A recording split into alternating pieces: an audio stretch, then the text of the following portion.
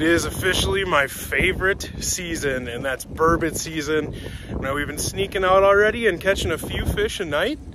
You don't have to wait until March for, you know, that's prime time where you can get the day bite and more numbers. January, February, those are big fish months for us. We don't get as many, but if you catch one, it's usually an 8, 10, maybe a 12 pounder.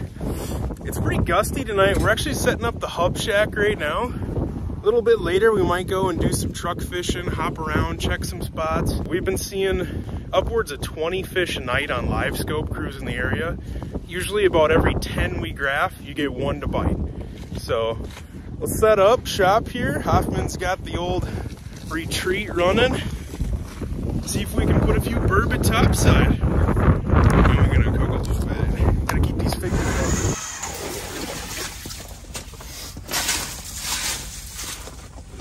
Shove some of that back.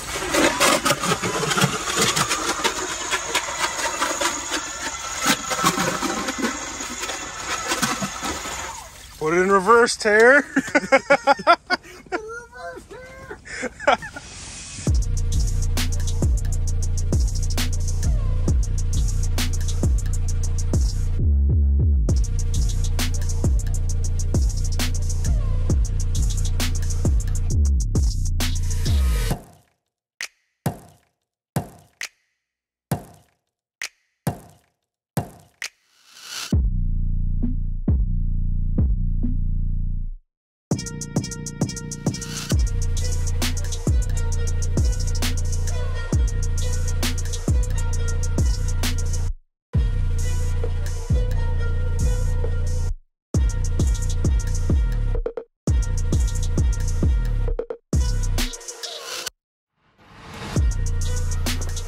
just like that, we're on the board. We've had a number of fish come through already, suspended, a lot of them four feet off bottom, couple high riders 10 feet down under the ice. This one came in so tight to bottom, I got about eight inches of dead zone. I could just see the bottom flashing and flickering. Just dropped it all the way down and look at that beautiful creature. Get another one. I love it so fun, man. I just like, you catch one of these things and I'm good. Like, that just made my whole night. Well, let's catch a couple more. We could. oh. Nice fish, dude. Yes, dude, I love it. love it. It might be burger time. Oh, yeah. We're gonna have to rock, paper, scissors for who has to cook and All who right. gets the fish. Ooh, I'm wasting a shiner for the head, but I like them for the stink.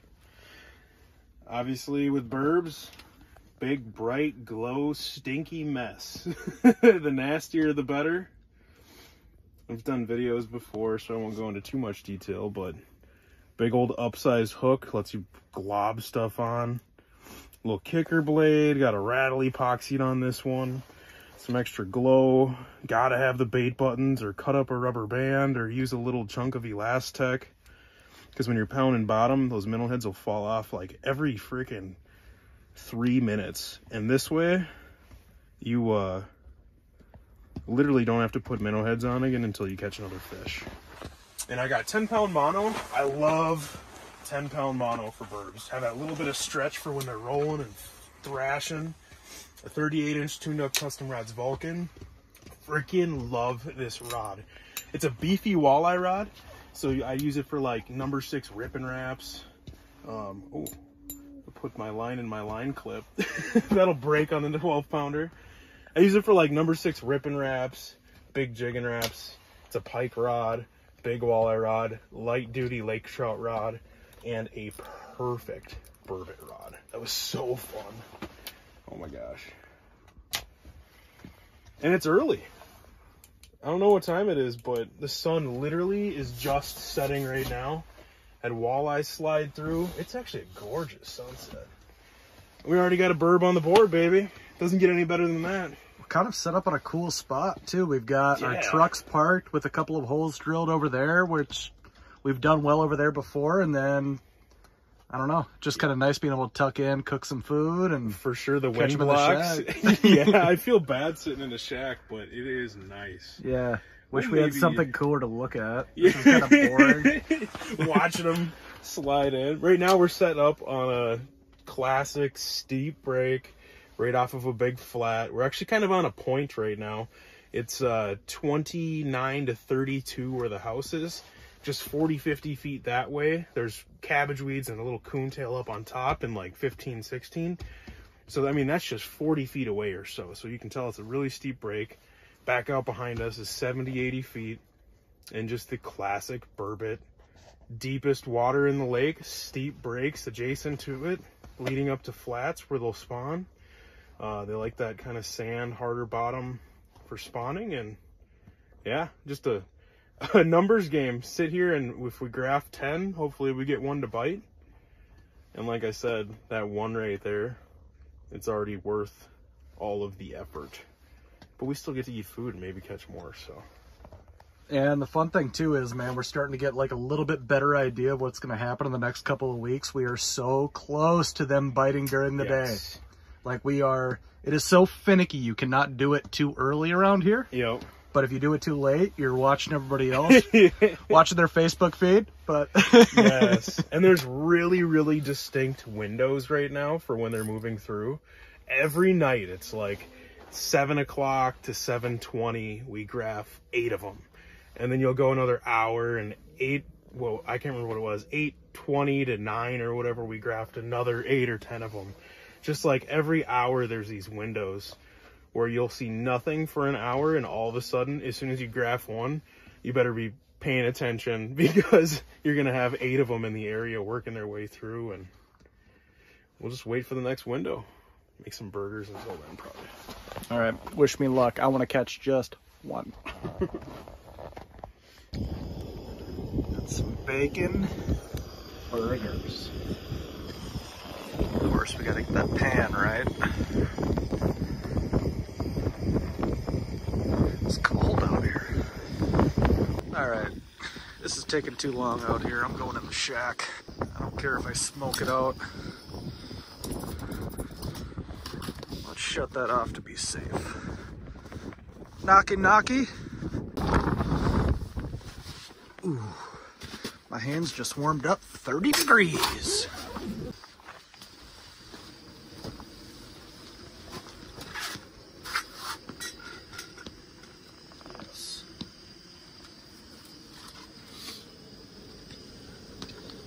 Get a to that we'll be cooking, man.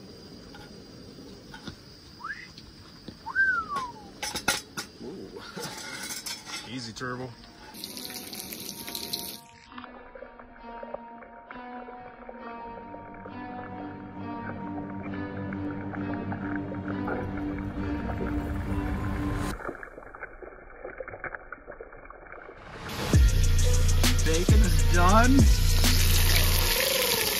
Got burgers and the grease. Nothing but health food tonight. As you can see, the plastic spatula that we brought out is not going to cut it. Plastic spatula. So we've got a nice clean pair of Rapala pliers. And we got a mark coming in. Right, you catch that, I'll flip these. Oh no! Oh no! Oh no! Brett McGolden.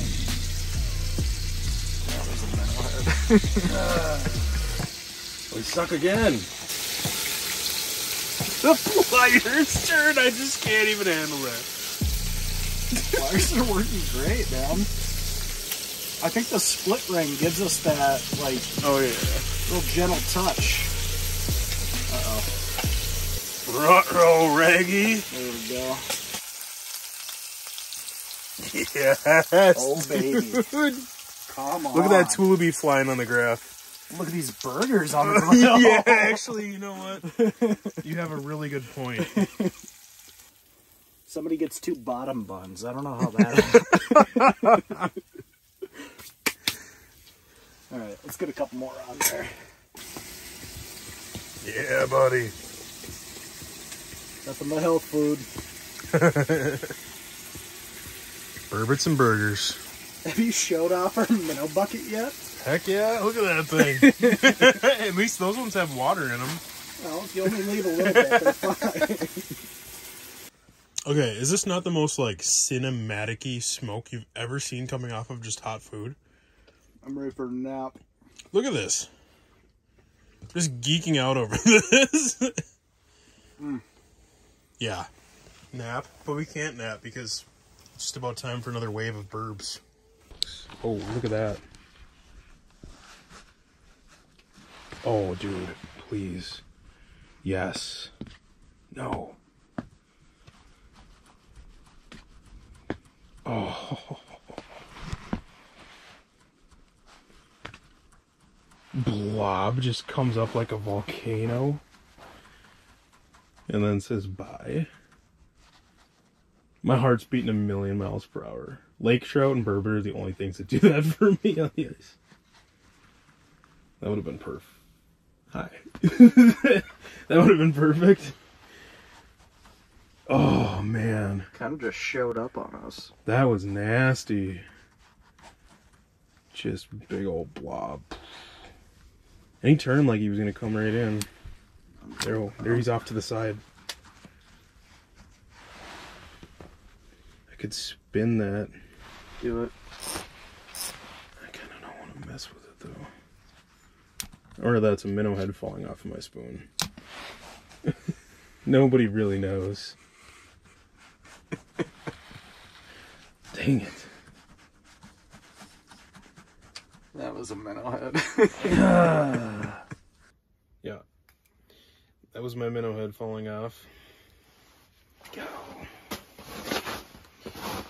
Into the old minnow bucket. still kicking. You still got a little burger action hiding down there. Yeah, I'll get there. I'm so full.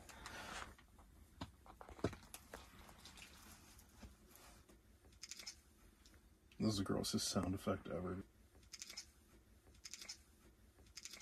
This is the grossest sound effect ever.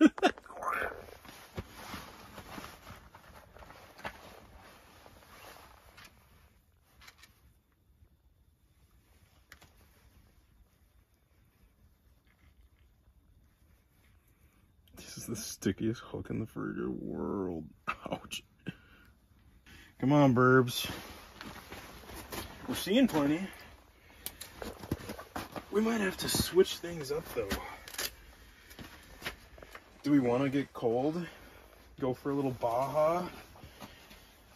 Just leave the hub here, slide over to that next little point, and just see if things are happening? Sounds painful, but we'd probably have better luck than we're having right now it's gonna be cold. It's gonna be a lot of work. But like, if we just catch one more bird. All right. Before we do that. yes. Random annoying dumb tip of the day. Especially if I'm truck fishing and it's cold outside. I will just do a little little scoop of like a trough of where my line would potentially be hidden from holding my rod out the door. Because if you leave that there and it gets frozen, those snarly little edges, the line will get stuck in all the time. You don't need water in your minnows if you're just using the minnow heads. This way I can just throw them in my pocket, hop around, whatever. Don't have to worry about another bait cooler. Now it's time to musk up. I said I'm gonna send down a Rippin Rap first to have in one hole for a little noise, a little commotion, a little vibration. I take that back treble off because when they hit this thing, I don't want to have to try to dig two sets of trebles out of there. So I just leave the belly one on. I upsize it to about a number four this is a VMC Barbarian treble, big hook gap. We'll let you do sucker shiner heads. For tonight, I'm just using fathead heads. You probably can't see anything that I'm doing, but just know that I mean well. Pinch off the back sides. That's cute. Cool. Super important to glow up your baits with something that works. like a headlamp apparently.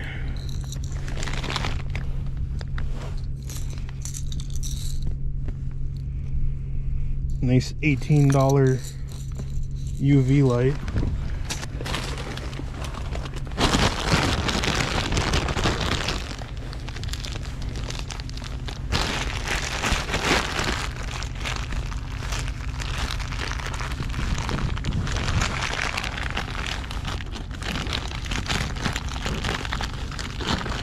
Usually the LED glow light goes right there. So when I'm doing the old two for one with a Rippin Rap and a jigging spoon or jig head or whatever you're using for kind of your traditional burbot bait, I'll keep that Rippin Rap like 8, 10 feet off bottom. Higher in the water column, give that nice big rips. So honestly, I'm not super coordinated with the whole two rod thing and it's extra awkward trying to do out of a truck door. So I will half the time just palm them both split apart obviously. And when I'm not graphing fish I will just rip them in the same cadence.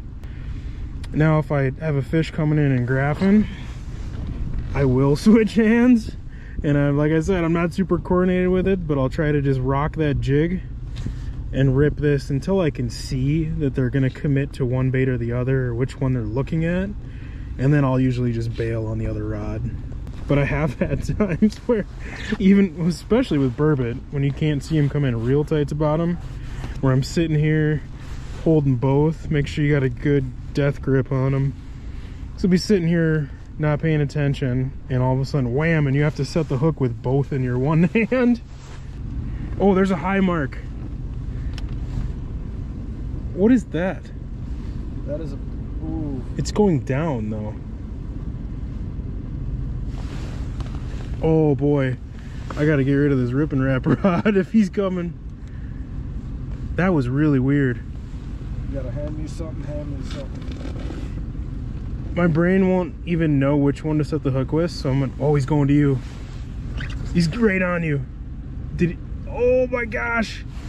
He's gonna eat, dude. He's hovering all over you. He must, yes, dude, nice. Drop it down the bottom and shout. That was awesome. That thing came in hot. I'm all wrapped up in my Rippin Rap rod, and we'll worry about that later. That was so cool. It feels pretty good. It looked like a big old blob. They're all big out here. They're all big and wait for it. That was awesome. Maybe Maybe just saw a little color. Ooh, it's feeling the right kind of line when it gets to the hole. I got it on a jig too, so we're good on hooks. Ooh, baby. Leader, He's right at coming up. Pull, pull. not big, but Oh. nice one. When his head is turned up, the, oh yeah, you're good. Oh man, I haven't done this in a while. I'm fumbling. Doing great. Better in your hands than mine. I don't have a great grip on them. There we go. Dude! It's a pretty one. Yes, look at the mud Pull this right out. on the belly. You can see I could write my name. Right on the snoot. Here's your fish. It's pretty. Dude, that didn't take long at all, man. Ooh, look at that. You could write your name in there. Teed up. Sick. That thing came in like it was on a mission. Awesome, Look man. at that mud. Yes. Yes. That- Hey, before you sit down, come check out my hole real quick. Still, That's ridiculous. I don't know how well you can see this on a GoPro after dark, but he's got the cleanest hole on this side of the Mason Dixon line. There's little eddies going on in there. These ice defense things are literally legit. Like, okay, so you see that. I just scooped mine out 30 seconds ago. And we're already frosty. Already another scoop's worth in there. Oh, I got a fish. Shoot, I'm not recording. Now I'm recording.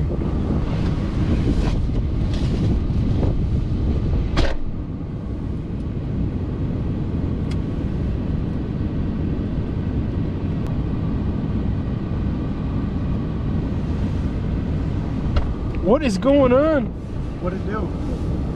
It just barely looked, but there's tullibees like jumping around all over the place or something. Like all of a sudden, freaking stuff was scattering. You got a burbot chasing bait? Must, if you can't tell, I'm sitting in my truck fishing through a little crack, watching the live scope screen on my phone right now to warm up for a minute. And of course, a burbot comes through as I'm not ready for anything. Dang it, the one time I stop. Now my mom's texting. Hi, mommy. oh, man. That's what I get. That is what I get.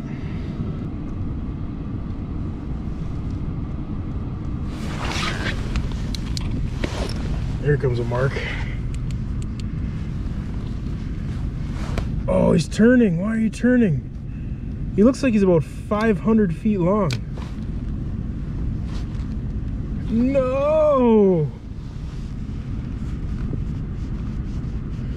I know I'm zoomed way in, but that was like a three foot mark. There was my teener. Oh,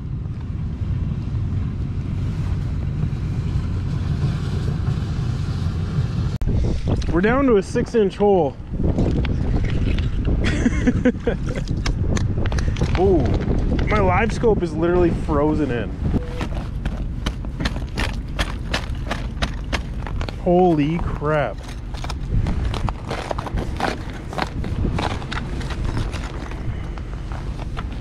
Uh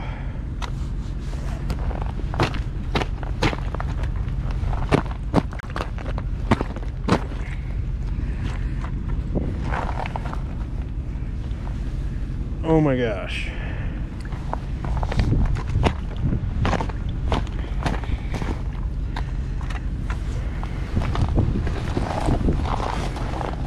can't get my live scope out of this hole. It's so frozen. Can you help? I don't know. It's. I don't have a chisel with. Oh, got her. Holy crap, that was scary. Okay. Well, with that, we're gonna call this a night. It's about 10:30. Get home and get some sleep, but you know what? We caught a couple of nice fish, average fish, but we graphed a zillion fish. They are on the move. Burbot season is here. It's only gonna get better from here on out. And uh, usually about that March 6th through the 15th or whatever is kind of like the deal when the daytime bite is going on. You'll still get these after dark windows and stuff, but uh, that's when it's just hot and heavy and you can catch them. Your best bite might be at 11 a.m. to noon. So, uh, fun day, mission accomplished. Caught a couple nice fish. Man, are they a blast. And the cool thing is, when the walleye season closes in Minnesota, you can go out and catch a fish that actually fights back. You don't just have to catch crappies and bluegills for the next month. You can use your walleye gear, your beefed up walleye rods, and uh, go out and catch a fish that actually bends the rod, and you might catch a 10 pounder trophy. So I'll be definitely sneaking out and doing a lot more of this over the next few weeks. Thanks so much for watching, and go out and get one of them slimy critters for yourself.